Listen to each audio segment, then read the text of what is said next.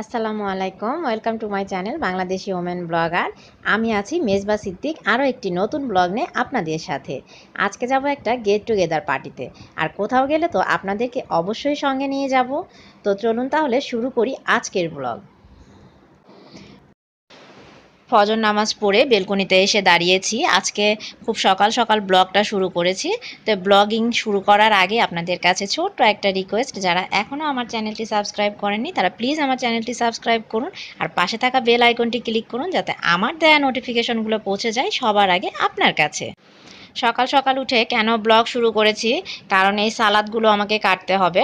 আমরা যে get together পার্টিতে যাব, এই পার্টি সম্পর্কে কিছু কথা আপনাদেরকে এখন বলি। এইটা আমরা মালয়েশিয়াতে প্রায় পনেরো বিশ জন ফ্যামিলি থাকা হয়, বাঙালি। তো এই বাঙালি ফ্যামিলিগুলোর সবাই সবার সাথে বেশ আন্তরিক আমরা। তো আমাদের প্রতি মাসে একটা ইসলামিক আলোচনার অনুষ্ঠান হয়। এই ইসলামিক আলোচনার অনুষ্ঠানের বাহিরে মাঝে মাঝে কখনো এরকম গেট টুগেদার পার্টির আয়োজন করা হয়, যাতে আসলে সবাই কিছুটা রিফ্রেশ হয়। বাচ্চারাও অনেক মজা পায়, কারণ অনেক বাচ্চা আসে। তো এই গেট টুগেদার পার্টিতে আসলে আমরা যারা আসি বা যাই, তারা সবাই আসলে এক একজন, এক এক ধরনের আইটেম রান্না করে নিয়ে যায়।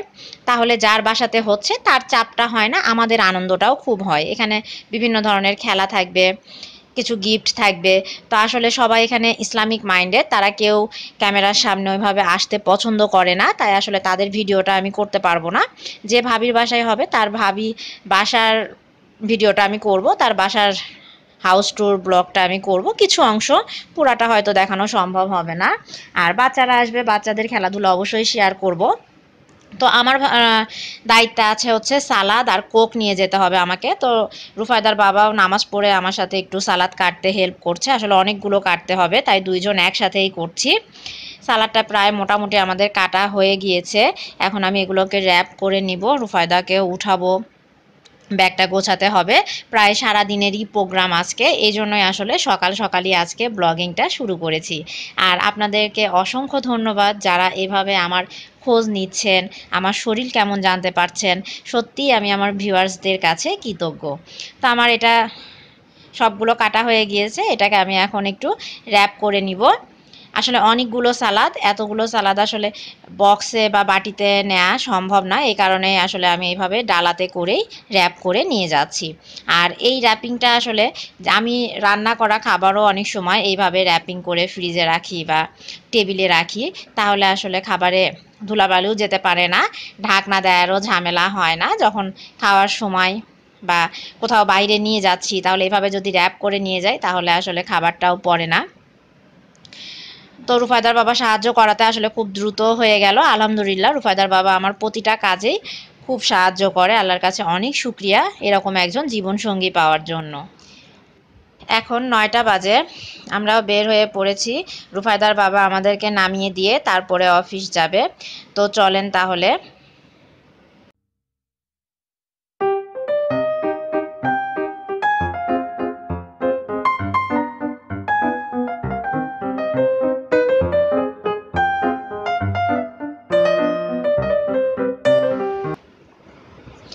আমরা চলে এসেছি। রুফায়দা এসেই তার আন্টির বাড়ির সব কিছু ঘুরে ঘুরে দেখছে আর বেলকনিতে নিয়ে যাই আপনাদেরকে। চলেন, বাইরে আসলে প্রচুর বৃষ্টি হচ্ছে। আমরাও বাসা থেকে বের হয়েছি, বৃষ্টিও শুরু হয়েছে। তো ওয়েদারটাও বেশ ঠান্ডা ঠান্ডা, বেশ ভালো লাগছে।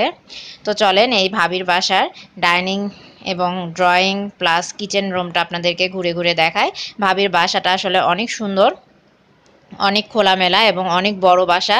রুফায়দাও খুব মজা পেয়েছে কারণ আন্টি ওকে সব ছেড়ে দিয়েছে। আমাদের আজকের প্রোগ্রামটা ছিল মামুন ভাবি নামের এক ভাবির বাসায়।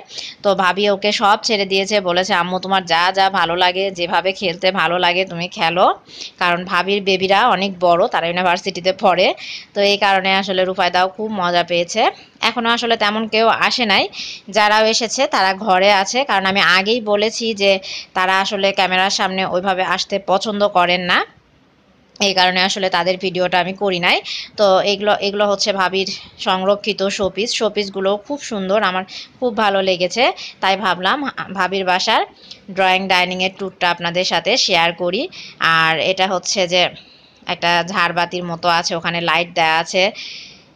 রুফায়দাও খুব মনোযোগ দিয়ে দেখছে। বিভিন্ন ধরনের ওয়ালমেট আছে এখানে।